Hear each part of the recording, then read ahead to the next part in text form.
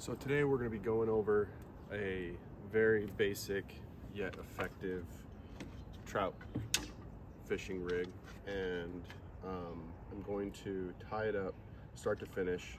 Start with the, the pole. It's just a real simple Ugly Stik, six foot, uh, medium action, nothing special and then your spinning reel can just be whatever. Uh, this is like a 2500 series so it's very small and I use braided line. This is 10 pound test braid. Braid's great because it doesn't have as much, have any memory.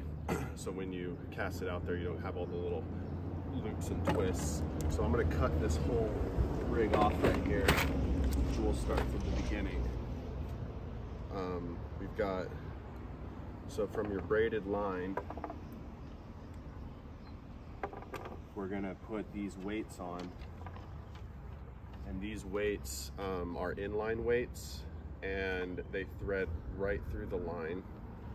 Um, probably about two ounces or so, depending on the depth and how sensitive you want to be fishing. Um, I'm using two because these are smaller, so um, a single two ounce weight would work really well as long as it's a sliding inline weight. So I'm going to slide it right onto the main line, just like this. And then I'm going to tie a barrel swivel, which is a swivel that has no clasp. It's just two eyes and um, a little chain in the middle.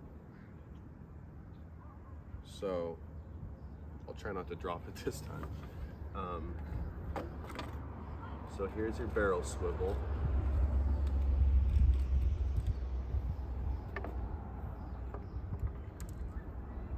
One eye on this side, one eye on this side. We're gonna go through the main line, tying an improved, or a, um, it's called a improved cinch knot. Pretty easy, put it through the eye, twist it six or seven or eight times, back through the lowest hole, make the loop, and this is the improved section, back through the loop that you just put it through, pull it down, and you've got yourself a nice knot and a barrel swivel. And the next thing you're gonna tie on is your leader. And your leader, I'm just gonna use some eight pound fluorocarbon leader. And I'm gonna put 24 inches, I think is a good size right now. Um, and that's gonna go right through the other end of my barrel swivel, like this. And then I'm going to twist it, one, two, three, four, five, six, lucky number seven, through the bottom hole and through the loop you just made. And we're always gonna wet the fluorocarbon so it doesn't melt. Clip the tag in,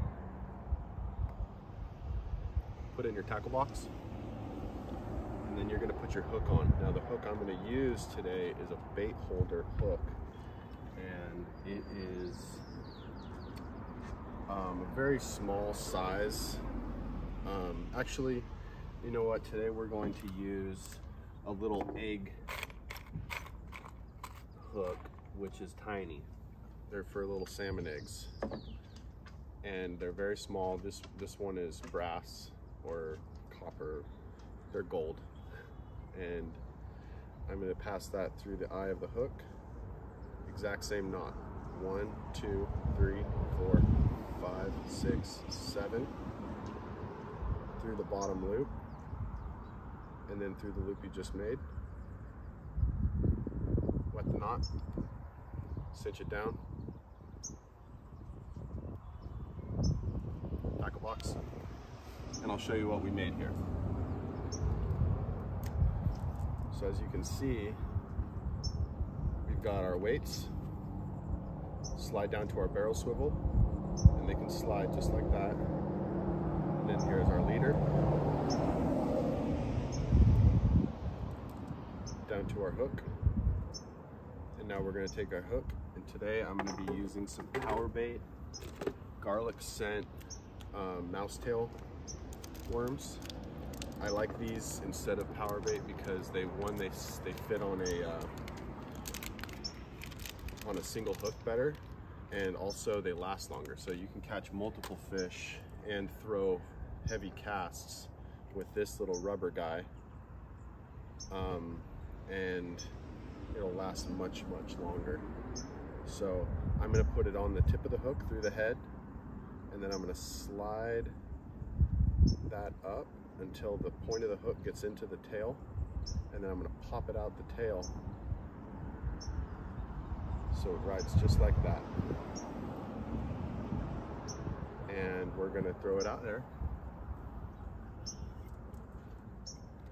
And I don't have to cast it too far because usually the trout like to hang out right in this area over here. So I'm gonna toss it. And now the trick is you wait for it to sink, and then I'll put my pole down and reel it in so there's just enough tension that you can see the line bending the tip of the rod.